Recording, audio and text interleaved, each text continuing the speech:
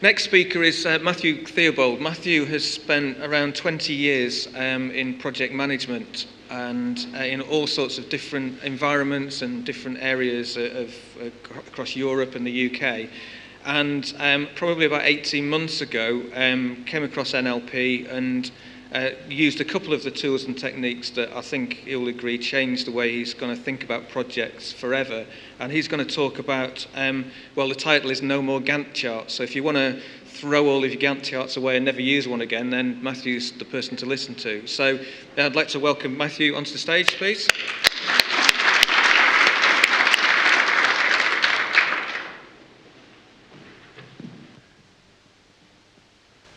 Thanks, Martin. Good morning, everyone. So, no more Gantt charts. You may be wondering how this is going to be possible. I've spent about 20 years being involved in projects. I've worked on projects that were big across many sites and countries, and also on projects that were very small, quick, and fun to do. And one thing I've noticed that most of these projects focus on is creating a Gantt chart and then letting it rule the project team religiously can see a few nodding heads around the room, so I'm not alone. What I'd like to do now is to shrink the Gantt chart back down to size. I'd like to turn it into just one thing in the toolbox that the project team uses. And to do this, I'd like to share my experiences of using NLP tools and techniques. some of the things I'm going to talk about will look familiar to you. They'll probably strike a chord. I worked in a company a while back that had a very strong project management culture. planning and using project plans was everything to them. We'd have a plan in the department, and to create that plan, we would have a meeting. But before the meeting to create the plan, we would have a pre-meeting.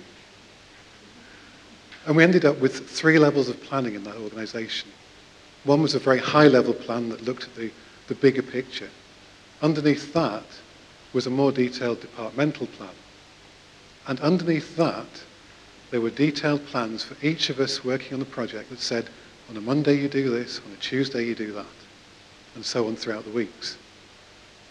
And every week, on top of these plans, we had a Monday morning meeting that would review what we were going to do throughout the week.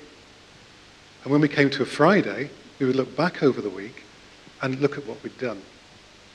So they were incredibly focused on these Gantt charts. But my wife can actually top that.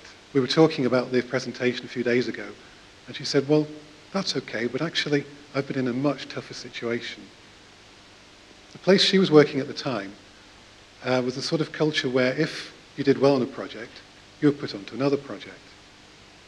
And she did pretty well at what she was, she was good at, so she ended up being the project team representative on five projects at the same time. Each project had its planning meeting at least once a week.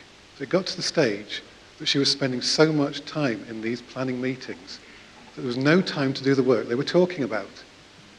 And they couldn't understand why these projects took so long to make any progress.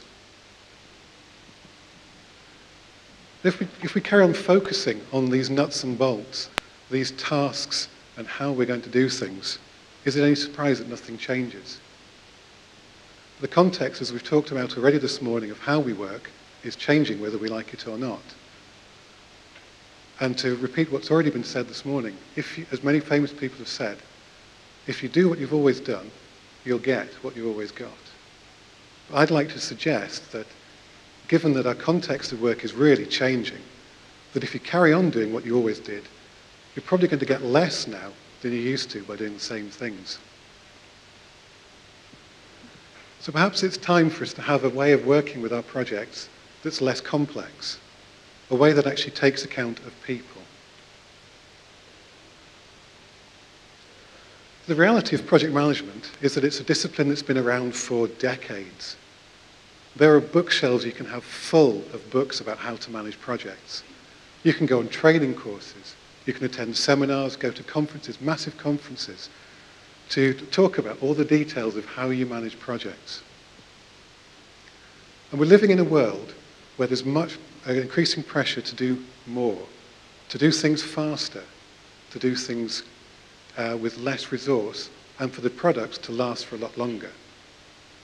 And there's a pressure to take shortcuts, even when we know that they're going to be dangerous for us. And often, I, I, looking at projects, I see that there's more companies working together on the projects, They're working in virtual teams. A colleague of mine uh, worked in a virtual team, and he was the only person on that team from the sponsor company. Everyone else on the team, suppliers, consultants, etc., were from other companies and spread right the way across the world, so they could never come together. And people say to me that we're losing our way as we're working in projects. We're asked to create a document, but I don't know why it's there. And when I ask someone else why we're creating a document, they don't know either. We're creating it for its own sake. People also tell me that they're having difficulty understanding where the projects are going to, to understand what it is they're trying to deliver. A company I was involved with a while ago had a project to deliver in 18 months a new wound care product. Now, this project involved an R&D group and a marketing group. For the R&D organization, in 18 months, they saw the project just being complete when they'd got the wound care product submitted to the regulatory authorities for approval. But the marketing guys had a very different perspective. They saw that in 18 months' time, they would have products ready to go into the pharmacies, into the wholesalers, uh, ready for patients to actually use. But these two teams never talked to each other. So 18 months down the line, looking at where the project was finishing, the R&D guys sat back and said, fantastic, we've done a great job. This product is now ready. It's gone into the regulatory authority for submission for approval. The marketing guy said, what on earth's going on? We were expecting to have product to ship to our, our customers today. We've got nothing. All this marketing effort, all these people interested in the product. What have you done? It actually took this company 18 more months to fix the problems that arose. Their product went from being the first in the marketplace for that particular wound care technology to just being one of six or seven that were around. Imagine the cost in terms of lost sales. Imagine the effort that's gone into that project for very little return. It all came down to those two teams not coming together, talking and discussing what they were seeing as the end point. Project management certainly has a lot of complex methodologies, and most of them are very rigidly applied. You can get certifications in very specific methodologies. There are organizations around who will spend enormous amounts of effort and time developing these bodies of knowledge to tell you how to run a project. Like one company I had some fun with a year or two back, developed a very complex but very elegant methodology it had a number of stages from the first idea going right the way through to delivery of the project. And inside each of these steps, there were a number of micro steps and documents that were required. On paper, it looked really good. They applied this methodology to all of their projects, which was interesting given that this organization had projects ranging from simple upgrades of software on laptops right the way through to multi-site, multinational implementations of IT systems like SAP. And they tried to apply the same methodology to all of those different scales of projects. Perhaps unsurprisingly, the project teams found their own ways to get, get through this methodology, to put the ticks in the boxes that were required whilst doing what they actually needed for their projects. And eventually the organization woke up to this and thought, we probably could use this ourselves. Let's turn them into formal route maps to tell different types of project how they can navigate through this, this massive steps. They probably could have saved themselves a load of time if they'd thought about that at the beginning and made the methodology more flexible. Here's an extreme example of command and control. Picture yourself as a project manager. Imagine what it feels like when you go in front of an inquisition board for your monthly project review. When you come into the room at your allotted time, the head of the organization is sat in the middle of this big long table. You've got their leadership team either side of them, all watching what you're about to tell them. And as a project manager, you're going in there to, to present where your project's at and to justify why you've got all the problems you have. And they typically get beaten up if you have got problems, which most projects did have. So there's a really heavy focus in this place on these Gantt charts and the milestones that were in them. A friend of mine was working in that situation, and it, one day it occurred to him that actually there's a way he can reduce the pain he's feeling, because it was a really nasty experience every month. You get anxiety attacks sometimes beforehand. He realized that if you knew perhaps two months before a milestone was due that it was going to be late, you could move it further out to say six months from now. And when you came to the next project review, there was no, no pain. No one said, why have you moved the, the milestone? And you could carry on doing that ad infinitum and feel no pain. And this worked for his project for a while. Things became a lot calmer, they felt more relaxed. But after a short period, they realized that actually it was causing more damage than good because there was no visibility of the problems they were actually having in the project. And when they went to ask for more resource or more money, the Inquisition Board quite reasonably said, you don't need it. Everything's fine. You're ahead of schedule. Your milestones are all okay. He did say that some of the project managers that he knew in that organization went to great lengths to avoid going to these meetings. Some would take holiday. Others would go on training courses when this meeting was due. Some would go and visit suppliers. Some even were off sick. That's how little they enjoyed these meetings. So what makes these experiences more and more common? A few years ago, Belbin described our work environment as having three phases to it. The first phase he described as the pre-industrial phase. And this could be probably a good example of uh, crofting in the Scottish Highlands. According to the Bible story, Noah um, was given a very clear purpose for the project he undertook. It was very clearly described to him that in a set period of time, there's going to be a flood on the earth, and you need to be able to save yourselves, your family, and two of each animal from that. And he was given a very clear specification to build an ark so, so long, so big, to hold so many animals. Then we started to, to evolve and develop into the industrial stage as we started to build factories and our processes became more standardized. And the management of our projects changed too. It moved away from being about what we were doing to how we went about it and the processes we have in place. And those are the projects that I'm certainly very familiar with, and maybe you are as well. We're now moving into a third phase, which Belbin has termed as the post-industrial phase. This is uh, just typified by much more flexible, agile organizations, almost high-tech crofting or cottage industries. I've been writing a book recently with a colleague based 300 miles away, and we've used this new flexibility and more agile way of working to deliver a book in just six months without having to keep driving 300 miles to have all of our meetings. We've done it in six months instead of the year or two years it would typically take. So we've got the methods, we've got processes that tell us how to do our projects. Yet 83% of our projects overrun dramatically. 83% of our projects cost far more than we planned. 83% of our projects take longer than we wanted them to, and they deliver far, far less than we originally planned to. And my projects, sorry, my projects were no different. Even with 20 years experience in being involved with projects, knowing methodologies, understanding processes, mine were right up there. I was, my projects were failing at that kind of rate. We spent some time a year, a year ago asking about 20 companies what it was that made their projects fail. It was interesting what they told us, that the projects don't fail because of documentation. Their projects do not fail because of complex and beautiful methodologies. Their projects do not fail because of processes. They fail because of people, because of how people behave when they're on projects. They fail because of how people communicate or don't.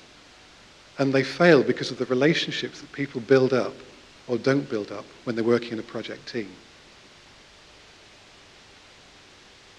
So clearly, uh, the way we're working is changing, whether we like it or not. We're definitely moving into this post-industrial stage of quicker, leaner, more flexible working. We need to unravel this mess that is project management and methodologies that are stuck in the industrial stage. I believe that we cannot sustain this 83% failure rate given this move into a different way of working. I know there's another way that we can go about it.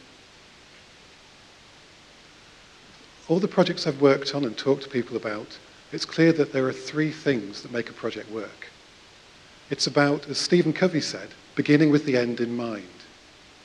It's also about not being a project manager, moving to being a project leader, taking care of the people on the team, giving direction, providing them with the opportunity to communicate their perspectives and the issues that they have, and making sure that your goals are all the same, they're aligned together.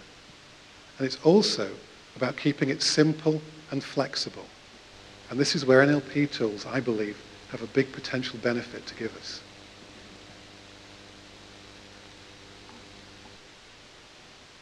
All the projects we ever work on, all the methodologies I've come across, have the same three common pieces to them, the same thread that goes throughout them all. And this thread is quite simply three stages. Every project goes through discovering what, it's there, what it is they're there to do. They go through a stage of designing how they're going to meet that idea they've got. And then they go through the stage of delivering that plan. So firstly, this stage of discovery.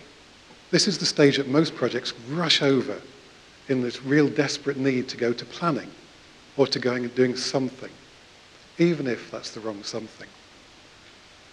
This stage is all about knowing who you need to involve in the project.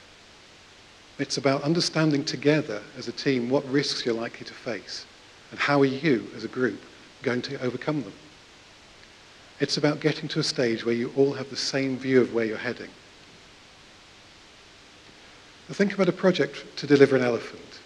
I'd like you just to think of an elephant, if you will. What does it look like? What, what sounds do you hear? Well, we all know what an elephant looks like, don't we? So it's going to be really simple. There's no need to discuss the project. So you may have been thinking of perhaps an African elephant, maybe a fluffy toy elephant, a cartoon one, or even maybe a pink elephant with glasses. Which of these was your project just now? So perhaps given this, even with a simple question like, what does an elephant look like? It's no wonder that the companies I've talked about earlier got it so wrong when they were trying to understand where they were getting to. the second stage every project goes through is that of design. And this is about getting to a stage where you have a clear plan that's realistic and everyone believes they can achieve. It's about understanding what's worked well for projects in the past and what hasn't worked well for them and seeing which of those you can reuse or use to your benefit. It's about getting people to commit to the plan you put in place by involving them in its development. It's about checking that things make sense. That you're not rushing off in a blind alley, down a blind alley. Of course, it's about doing some planning.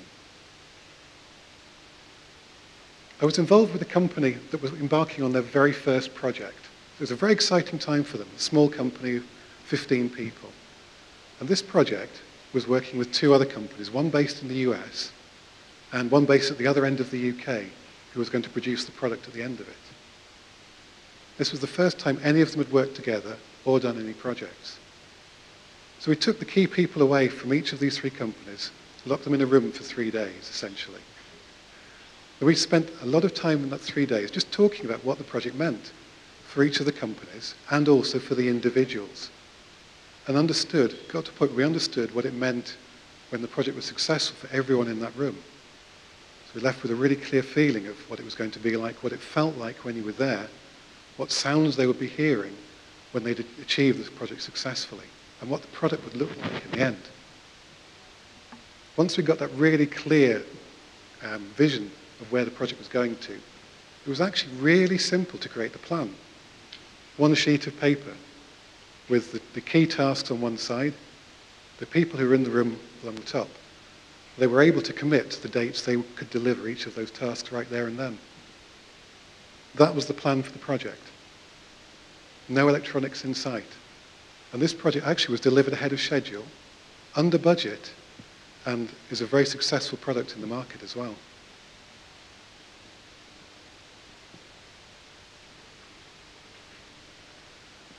The third stage is that of delivery. So putting into action the plan you've just, put it, just created amongst your team. There's a very well-known saying that no plan survives first contact with the enemy. And there's a reason why that's well known, because it's true. Has any of you ever had a project with a plan that actually came to pass without any changes? No, it doesn't look like it. I'm not alone then. I find it often it's very difficult to get people to attend project meetings. It's very rare when you have 100% attendance at every meeting, unless there's a big problem, an issue that needs to be sorted and there's real pressure to get on and sort it. That's when the command and control elements really become strong.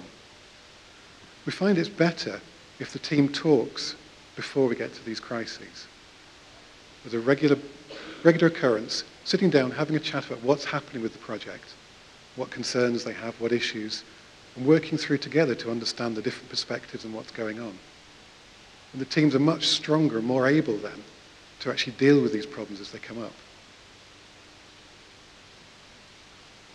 The final element of this, this project process, these three steps that every project goes through, is evaluation.